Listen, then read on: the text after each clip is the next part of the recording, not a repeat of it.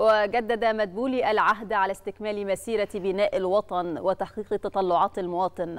وأوضح مدبولي أن برنامج عمل حكومته اعتمد بشكل رئيسي على مستهدفات رؤية مصر 2030 وتوصيات جلسات الحوار الوطني.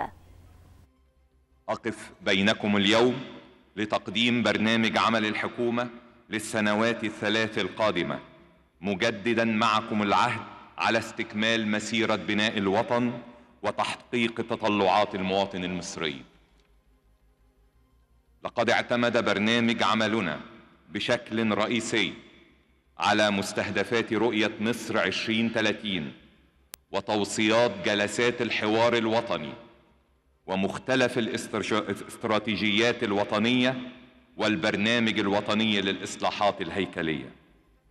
ونسعى من خلال هذا البرنامج إلى تحسين واقع حياة المواطن بجميع جوانبها والانتقال إلى مرحلة جديدة من التطوير المستدام الذي يضع وطننا في المكانة التي تليق به.